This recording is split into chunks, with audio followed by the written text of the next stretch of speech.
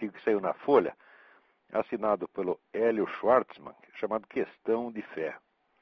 Enquanto o Brasil se prepara para receber a visita do Papa, cuja missão é ensinar aos homens os, os caminhos para o reino de Deus, cientistas tentam mostrar por quais caminhos Deus acabou entrando no reino dos homens. E aí vai, vai, vai. E ele vai acabar comentando os três livros dos ateístas militantes Richard Dawkins, Sam Harris e Daniel Dennett. Né? Agora, o mais engraçado é o seguinte, é, que a terminologia usada já é o seguinte, religião e ciência. Então, em primeiro lugar, quem disse que o que esses camaradas estão fazendo nesses três livros é ciência? Já é um absurdo total a gente partir do princípio de que o materialismo é ciência. E se você aceita essa terminologia e tenta discutir depois em termos de é, conhecimento e fé, você já, já caiu dentro de uma armadilha. Você não pode esquecer, vamos dizer, que a primeira, num, num, num, num, debate, num confronto de argumentos, a primeira coisa é nunca usar a linguagem do adversário, porque aí você permite que ele molde o debate. Não que você tenha que moldá-lo sem que, ele perceba, que o adversário perceba.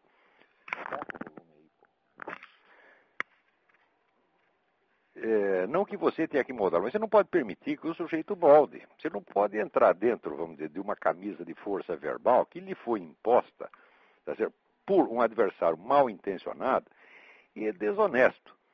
Quer dizer, no, no, no, na, nas premissas, na premissa materialista não existe absolutamente nada, nada, nada de científico. Isso aí é uma metafísica barata, tá certo? Metafísica de galinheiro, que a gente não tem por que aceitar. Quer dizer, religião e fé, uma religião e ciência, uma pinóia. Quer dizer, a nossa discussão aqui é ciência contra ciência e religião contra religião. Em primeiro lugar, nós temos, vamos dizer, a nossa ciência, que é uma ciência milenar, que tem uma continuidade, dizer, desde o tempo de Aristóteles até hoje, tá certo? Da qual participam os maiores cientistas de todos os tempos. É, o número de cientistas crentes, religiosos ao, ao longo da história é, supera enormemente o de cientistas materialistas. E os materialistas sempre foram representados por cérebros inferiores, como Epicuro, por exemplo, tá certo? ou Demócrito, que era camarada que fazia uma descobertazinha mas que não tinha a, a estrutura intelectual nem mesmo para ele entender o que ele tinha descoberto.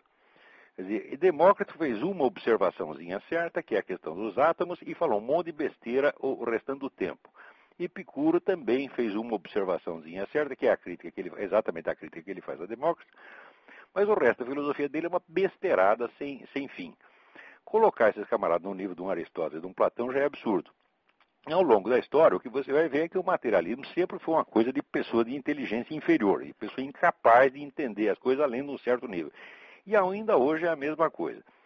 Esses três, por exemplo, Dawkins, Harris e Dennett, uh, seria muito interessante vocês lerem o comentário que foi feito a respeito, um longo comentário do Michael Novak, que saiu na National Review que reduz esses três assim abaixo de merda. Porque primeiro ele começa a demonstrar que eles têm uma concepção pueril a respeito de Deus. Quer dizer, as ideias que eles têm sobre o que seja Deus tá são ideias de um menino de 10 anos no máximo. É, é uma coisa que revela, não só em cultura, como falta de inteligência. Eu estou seguro que o Dawkins não é um homem inteligente. E o, o Dennett e o Harris, muito menos, nem, mas nem mesmo inteligente. Quanto mais, Cultura. Cultura falta totalmente esses camaradas. Eles não sabem do que estão falando. Eles não têm a menor ideia do que seja teologia, do que seja espiritualidade, tá do que seja a mística. É tudo chute. Esses camaradas estão no. Eles são três Rodrigos Constantino, melhorar. Melhor Rodrigo Constantino falando em inglês, está entendendo? Agora, como é que nós vamos respeitar essas pessoas e colocá-las como seus representantes da ciência? Dizer, a obra científica do Dawkins é zero. Até hoje só, falou, só foi besteira. Aquele negócio do gen egoísta, isso já foi desmoralizado há muito tempo.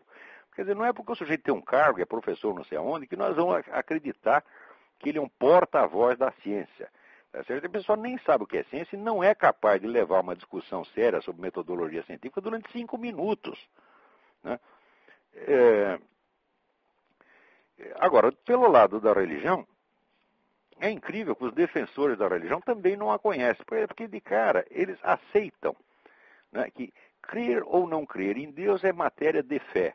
Ora, a doutrina católica diz exatamente o contrário. Você crer em Deus é matéria de prova racional. Tá certo? Agora, você crer nos artigos específicos, nos pontos específicos da fé cristã, como uh, o, o nascimento virginal miraculoso do Cristo, a ressurreição, etc., aí sim é matéria de fé. Mas a crença em Deus não é matéria de fé de maneira alguma. Mas você vê a totalidade dos, dos defensores da, da religião já entram em campo vestindo a, a, a, camisa de força que o adversário lhe impôs. E diz que não, todos nós temos direito de crer. Você não tem o direito de, de não crer de jeito nenhum. Você tem o direito de ser burro. Quer dizer, o sujeito que não é capaz de entender, vamos dizer, a noção mesmo do que seja Deus, ele tem o direito de não acreditar, só nessa medida em que ele tem o direito de ser burro. A existência de Deus não é matéria de fé. Essa é matéria de prova racional. E isso já está mais do que provado há muito tempo. Não se pode admitir, vamos dizer, que uma pessoa seja intelectualmente respeitável quando entra no debate sem nem mesmo conhecer isto, né? imaginando que a totalidade da religião é pura questão de fé.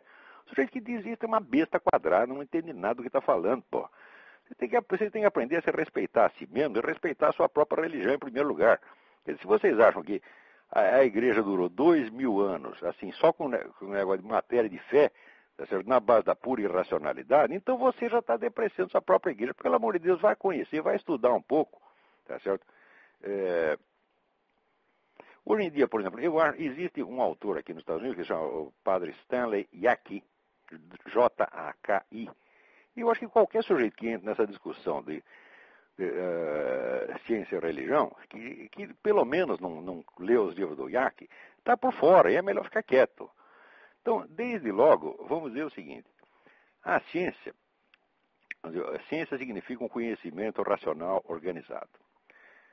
É, Para ser racional, você tem que partir de certas premissas, vamos dizer, que sejam universalmente é, inquestionáveis e que são fundamentos dizer, da, da, própria lógica. A, quando, quando, nós temos, vamos dizer, partimos do premissa, da premissa de que a, a, a, base, a origem do conhecimento é a experiência, nós temos que entender primeiro o que, que é a experiência. A experiência se dá sempre dentro de um quadro dizer, existencial, que é este mundo em que nós vivemos. Então, a existência do mundo é a primeira premissa da, da, da, da ciência. A segunda premissa tá certo, tem que ser dizer, a natureza do próprio conhecimento humano. Tá Você não vai encontrar uma única época na história em que os seres humanos tenham vivido na ignorância total e nem alguma em que eles tenham vivido na total sabedoria. O ser humano vive, desde que ele existe, ele vive num lusco-fusco, ele vive numa mistura de sabedoria e ignorância, mistura de conhecimento e ignorância. Isso quer dizer que o, o real, a realidade dentro da qual nós estamos, ela tem necessariamente extensões para além do limite conhecido.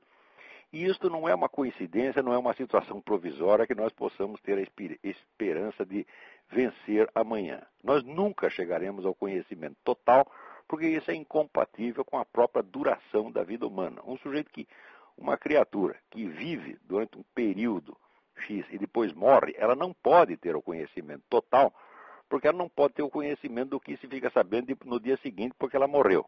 Portanto, a ambição do conhecimento total é incompatível com a própria estrutura da realidade na qual nós temos.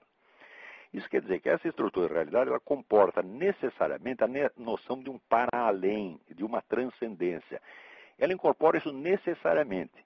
E quem não for capaz de aprender isso, não tem o direito de abrir a boca num debate científico. Quer dizer, a noção da transcendência é absolutamente necessária para qualquer raciocínio que você comece a fazer.